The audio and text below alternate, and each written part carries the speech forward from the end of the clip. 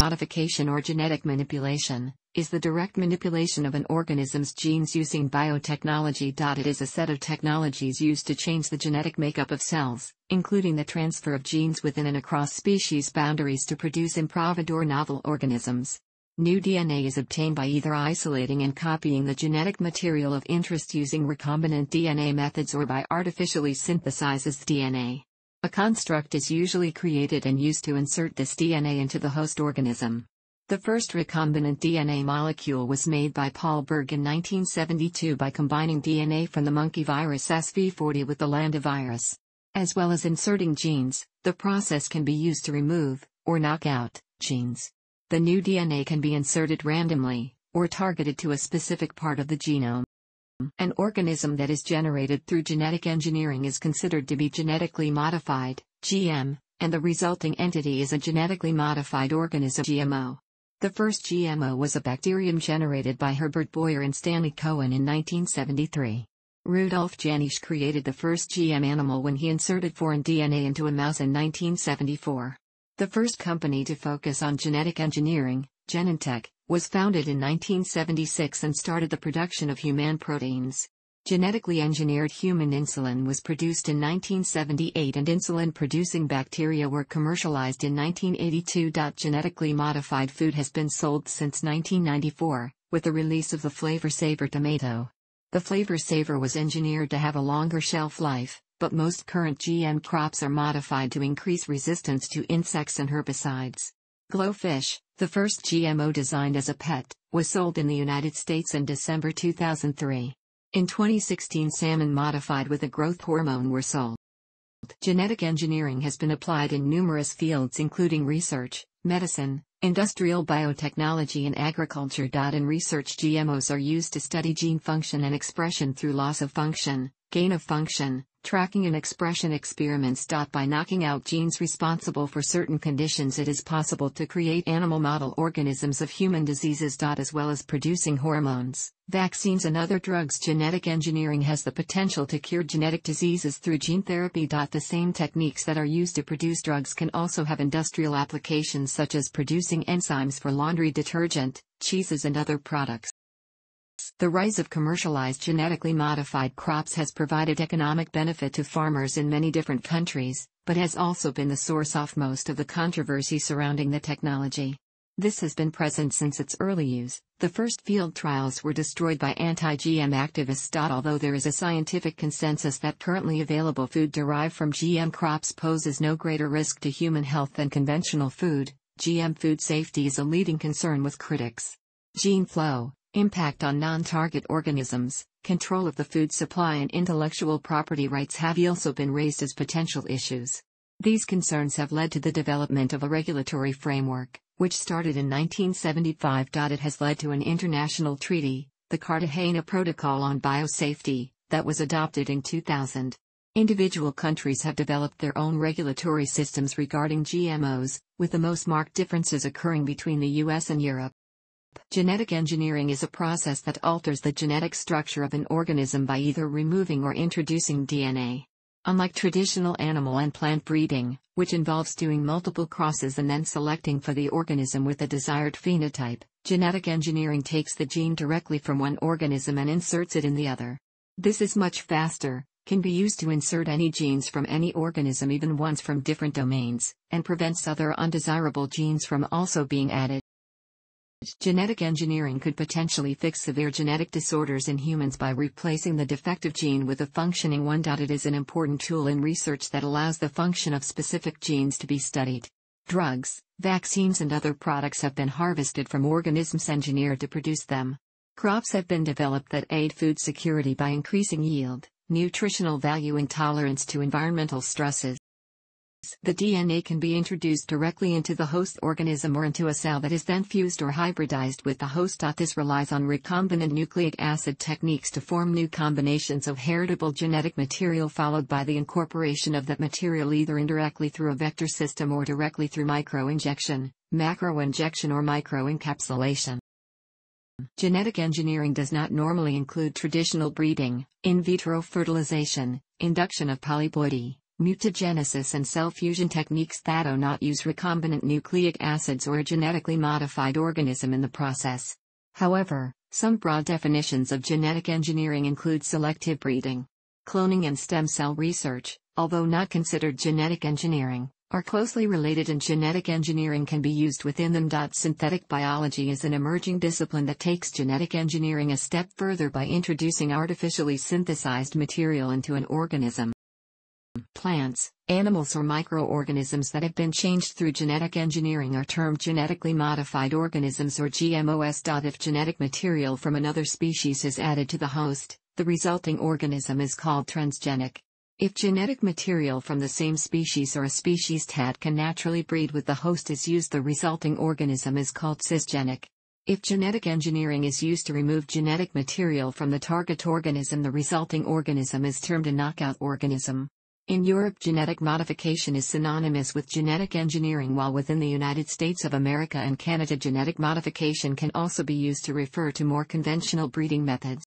Humans have altered the genomes of species for thousands of years through selective breeding, or artificial selection as contrasted with natural selection. More recently, mutation breeding has used exposure to chemicals or radiation to produce a high frequency of random mutations, for selective breeding purposes. Genetic engineering as the direct manipulation of DNA by humans outside breeding and mutations has only existed since the 1970s. The term genetic engineering was first coined by Jack Williamson in his science fiction novel Dragon's Island, published in 1951, one year before DNA's role in heredity was confirmed by Alfred Hershey and Martha Chase, and two years before James Watson and Francis Crick showed that the DNA molecule has a double helix structure, though the general concept of direct genetic manipulation was explored in rudimentary form in Stanley G. Weinbaum's 1936 science fiction story Proteus Island.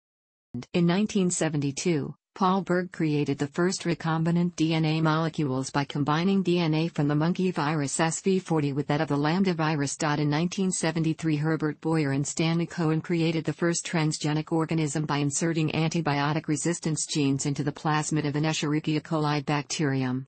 A year later Rudolf Jaenisch created a transgenic mouse by introducing foreign DNA into its embryo, making it the world's first transgenic animal. These achievements led to concerns in the scientific community about potential risks from genetic engineering, which were first discussed in depth at the Asilomar Conference in 1975. One of the main recommendations from this meeting was that government oversight of recombinant DNA research should be established until the technology was deemed safe. In 1976 Genentech, the first genetic engineering company, was founded by Herbert Boyer and Robert Swanson and a year later the company produced a human protein, somatostatin, in E. coli. Genentech announced the production of genetically engineered human insulin in 1978. In 1980, the U.S. Supreme Court in the Diamond v. Chakrabarty case ruled that genetically altered life could be patented. The insulin produced by bacteria was approved for release by the Food and Drug Administration, FDA, in 1982.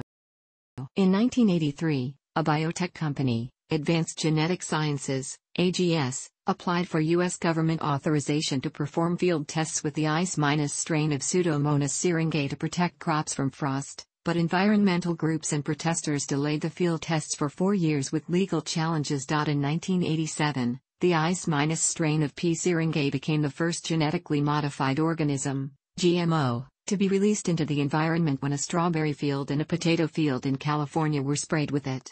Both test fields were attacked by activist groups the night before the tests occurred. The world's first trial site attracted the world's first field trasher. The first field trials of genetically engineered plants occurred in France and the US in 1986 tobacco plants were engineered to be resistant to herbicides. The People's Republic of China was the first country to commercialize transgenic plants, introducing a virus resistant tobacco in 1992. In 1994, Calgene attained approval to commercially release the first genetically modified food, the Flavr Savr, a tomato engineered to have a longer shelf life. In 1994, the European Union approved tobacco engineered to be resistant to the herbicide bromoxynil, making it the first genetically engineered crop commercialized in Europe. In 1995, BT potato was approved safe by the Environmental Protection Agency, after having been approved by the FDA, making it the first pesticide producing crop to be approved in the U.S. In 2009 11 transgenic crops were grown commercially in 25 countries, the largest of which by area grown were the US, Brazil, Argentina, India, Canada, China, Paraguay, and South Africa. In 2010, scientists at the J. Craig Venter Institute created the first synthetic genome and inserted it into an empty bacterial cell. The resulting bacterium, named Mycoplasma laboratorium, could replicate and produce proteins. Four years later this was taken a step further when a bacterium was developed that replicated a plasmid containing a unique base pair, creating the first organism engineered to use an expanded genetic alphabet. In 2012, Jennifer Doudna and Emmanuelle Charpentier collaborated to develop the CRISPR-Cas9 system, a technique which can be used to easily and specifically alter the genome of almost any organism. Creating a GMO is a multi-step process. Genetic engineers must first choose what gene they wish to insert into the organism. This is driven by what the aim is for the resultant organism and is built on earlier research. Genetic screens can be carried out to determine potential genes and further tests then used to identify the best candidates. The development of microarrays, transcriptomics and genome sequencing has made it much easier to find suitable genes. Luck also plays its part, the Roundup Ready gene was discovered after scientists noticed a bacterium thriving in the presence of the herbicide. The next step is to isolate the candidate gene. The cell containing the gene is opened and the DNA is purified. The gene is separated by using restriction enzymes to cut the DNA into fragments or polymerase chain reaction, PCR, to amplify up the gene segment. These segments can then be extracted through gel electrophoresis. If the chosen gene or the donor organism's genome has been well studied, it may already be accessible from a genetic library. If the DNA sequence is known, but no copies of the gene are available, it can also be artificially synthesized. Once isolated, the gene is ligated into a plasmid that is then inserted into a bacterium. The plasmid is replicated when the bacteria divide, ensuring unlimited copies of the gene are available. Before the gene is inserted into the target organism it must be combined with other genetic elements. These include a promoter and terminator region, which initiate and end transcription. A selectable marker gene is added, which in most cases confers antibiotic resistance, so researchers can easily determine which cells have been successfully transformed.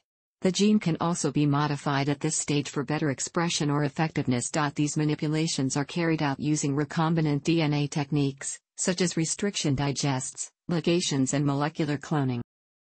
There are a number of techniques available for inserting the gene into the host genome. Some bacteria can naturally take up foreign DNA. This ability can be induced in other bacteria via stress, for example thermal or electric shock, which increases the cell membrane's permeability to DNA. Uptaken DNA can either integrate with the genome or exist as extra chromosomal DNA. DNA is generally inserted into animal cells using microinjection, where it can be injected through the cell's nuclear envelope directly into the nucleus, or through the use of viral vectors.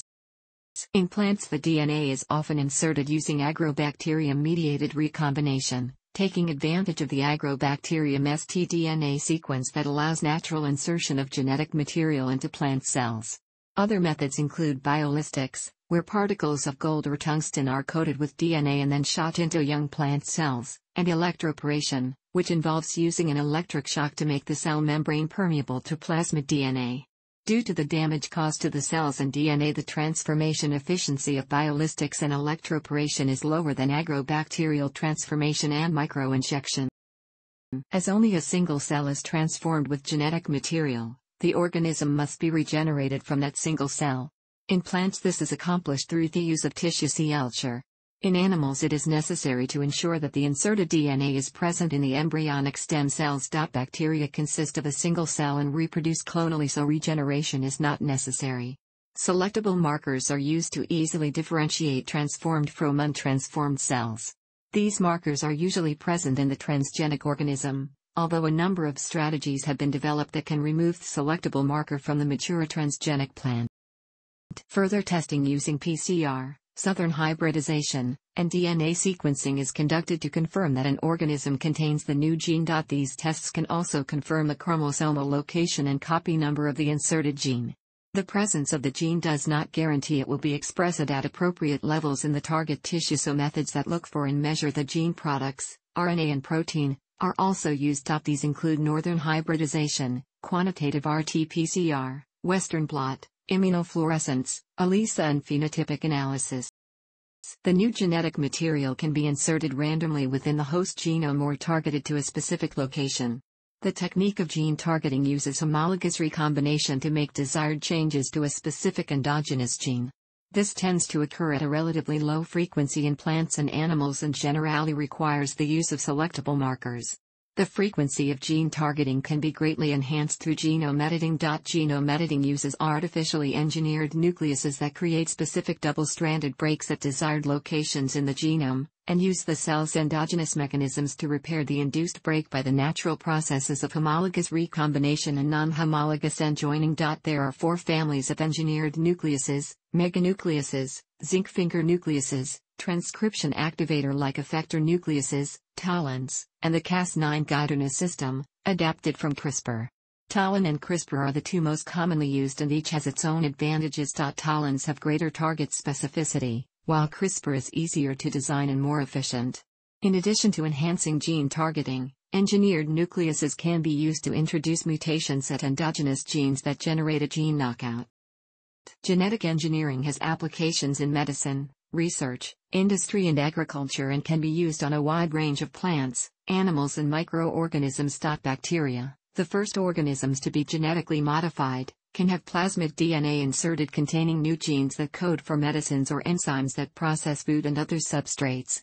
Plants have been modified for insect protection, herbicide resistance, virus resistance, enhanced nutrition, tolerance to environmental pressures and the production of edible vaccines. Most commercialized GMOs are insect-resistant or herbicide-tolerant crop plants. Genetically modified animals have been used for research, model animals and the production of agricultural or pharmaceutical products. The genetically modified animals include animals with genes knocked out, increased susceptibility to disease, hormones for extra growth and the ability to express proteins in their milk. Genetic engineering has many applications to medicine that include the manufacturing of drugs, creation of model animals that mimic human conditions and gene therapy. One of the earliest uses of genetic engineering was to mass produce human insulin in bacteria. This application has now been applied to human growth hormones, follicle stimulating hormones, for treating infertility, human albumin, monoclonal antibodies, antihemophilic factors, vaccines, and many other drugs.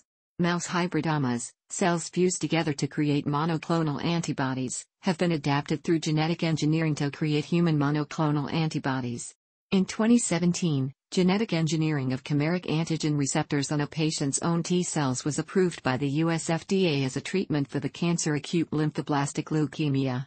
Genetically engineered viruses are being developed that can still confer immunity, but lack the infectious sequences. Genetic engineering is also used to create animal models of human diseases. Genetically modified mice are the most common genetically engineered animal model. They have been used to study and model cancer, the OncoMouse, obesity, heart disease, diabetes, arthritis, substance abuse, anxiety, aging, and Parkinson disease. Potential cures can be tested against these mouse models. Also, genetically modified pigs have been bred with the aim of increasing the success of pig to human organ transplantation. Gene therapy is the genetic engineering of humans, generally by replacing defective genes with effective ones. Clinical research using somatic gene therapy has been conducted with several diseases, including X-linked SCID, chronic lymphocytic leukemia, CLL, and Parkinson's disease. In 2012, Alipogene Tiparvovec became the first gene therapy treatment to be approved for clinical use. In 2015 a virus was used to insert a healthy gene in tati skin cells of a boy suffering from a rare skin disease, epidermolysis bullosa, in order to grow, and then graft healthy skin onto 80% of the boy's body which was affected by the illness. Germline gene therapy would result in any change being inheritable, which has raised concerns within the scientific community. In 2015, CRISPR was used to edit the DNA of non-viable human embryos, leading scientists of major world academies to call for a moratorium on inheritable human genome edits. There are also concerns that the technology could be used not just for treatment, but for enhancement, modification or alteration of a human being's appearance, adaptability, intelligence, character or behavior. The distinction between cure and enhancement can also be difficult to establish. In November 2018, He Jiankui announced that he had edited the genomes of two human embryos, to attempt to disable the CCR5 gene, which codes for a receptor that HIV uses to enter cells. He said that twin girls, Lulu and Nana, had been born a few weeks earlier. He said that the girls still carried functional copies of CCR5 along with disabled CCR5, mosaicism, and were still vulnerable to HIV. The work was widely condemned as unethical, dangerous, and premature. Researchers are altering the genome of pigs to induce the growth of human organs to be used in transplants. Scientists are creating gene drives, changing the genomes of mosquitoes to make them immune to malaria, and then looking to spread the genetically altered mosquitoes throughout the mosquito population in the hopes of eliminating the disease. Genetic engineering is an important tool for natural scientists, with the creation of transgenic organisms one of the most important tools for analysis of gene function. Genes and other genetic information from a wide range of organisms can be inserted into bacteria for storage and modification, creating genetically modified bacteria in the process. Bacteria are cheap, easy to grow, clonal, multiply quickly, relatively easy to transform and can be stored at minus 80 degrees Celsius almost indefinitely. Once a gene is isolated it can be stored inside the bacteria providing an unlimited supply for research. Organisms are genetically engineered to discover the functions of certain genes. This could be the effect on the phenotype of the organism, where the gene is expressed or what other genes it interacts with. These experiments generally involve loss of function, gain of function, tracking and expression. Organisms can have their cells transformed with a gene coding for a useful protein, such as an enzyme, so that they will overexpress the desired protein. Mass quantities of the protein can then be manufactured by growing the transformed organism in bioreactor equipment using industrial fermentation, and then purifying the protein. Some genes do not work well in bacteria, so yeast, insect cells or mammalian cells can also be used. These techniques are used to produce medicines such as insulin, human growth hormone, and vaccines, supplements such as tryptophan, aid in the production of food, chymosin in cheese making, and fuels. Other applications with genetically engineered bacteria could involve making them perform tasks outside their natural cycle, such as making biofuels, cleaning up oil spills, carbon and other toxic waste and detecting arsenic in drinking water. Certain genetically modified microbes can also be used in biomining and bioremediation, due to their ability to extract heavy metals from their environment and incorporate them into compounds that are more easily recoverable. In materials science, a genetically modified virus has been used in a research laboratory as a scaffold for assembling a more environmentally friendly lithium ion battery. Bacteria have also been engineered to function as sensors by expressing a fluorescent protein under certain environmental conditions. One of the best known and controversial applications of genetic engineering is the creation and use of genetically modified crops or genetically modified livestock to produce genetically modified food. Crops have been developed to increase production, increase tolerance to abiotic stresses, alter the composition of the food, or to produce novel products. The first crops to be released commercially on a large scale provided protection from insect pests or tolerance to herbicides. Fungal and virus resistant crops have also been developed or are in development. This make the insect and weed management of crops easier and can indirectly increase crop yield. GM crops that directly improve yield by accelerating growth or making the plant more hardy, by improving salt, cold or drought tolerance are also under development. In 2016 salmon have been genetically modified with growth hormones to reach normal adult size much faster. GMOs have been developed that modify the quality of produce by increasing the nutritional value or providing more industrially useful qualities or quantities. The Amflora potato produces a more industrially useful blend of starches.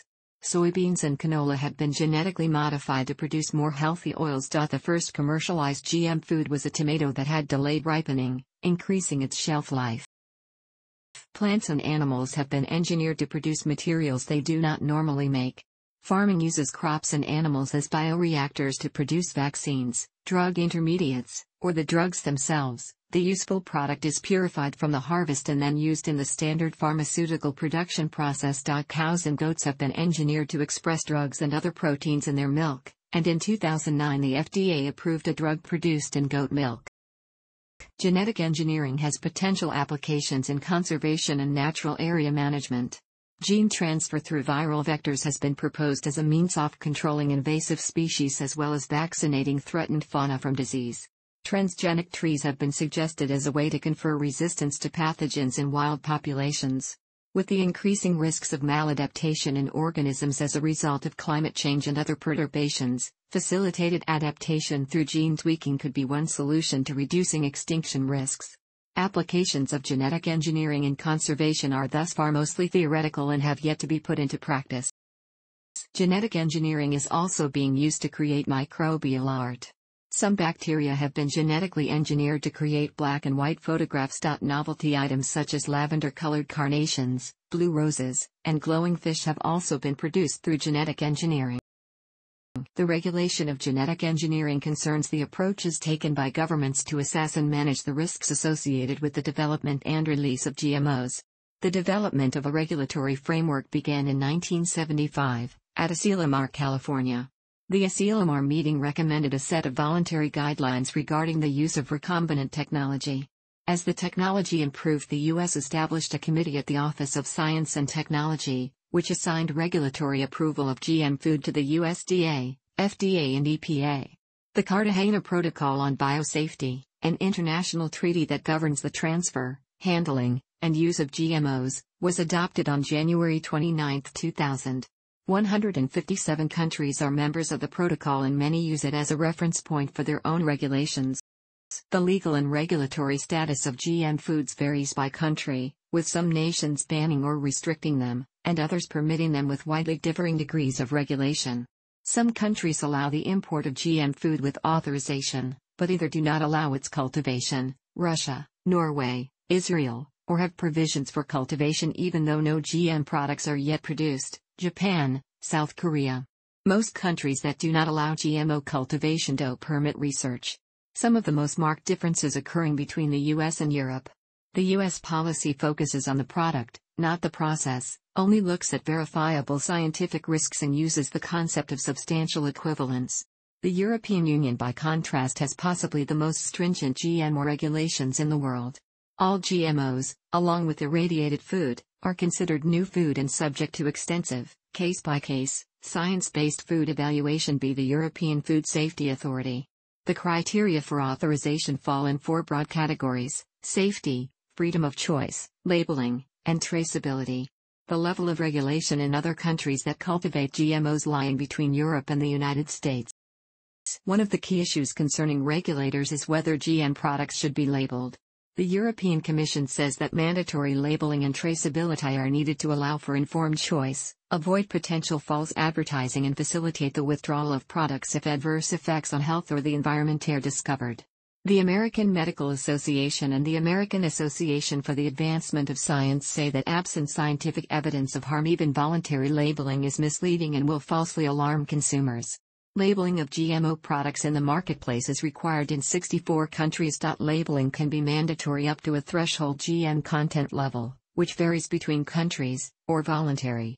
In Canada and the US, labeling of GM food is voluntary, while in Europe, all food, including processed food, or feed which contains greater than 0.9% of approved GMOs must be labeled.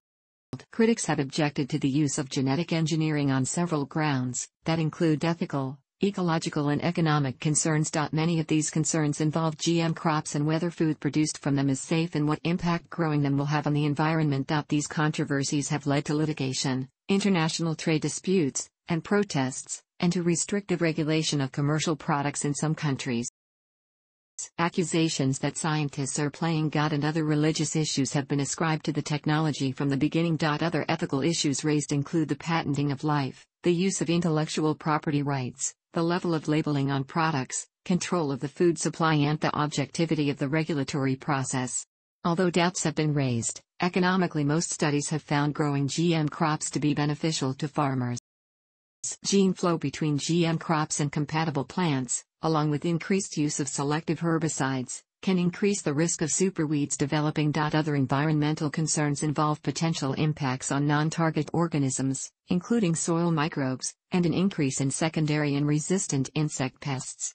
Many of the environmental impacts regarding GM crops may take many years to be understood and are also evident in conventional agriculture practices. With the commercialization of genetically modified fish, there are concerns over what the environmental consequences will be if they escape.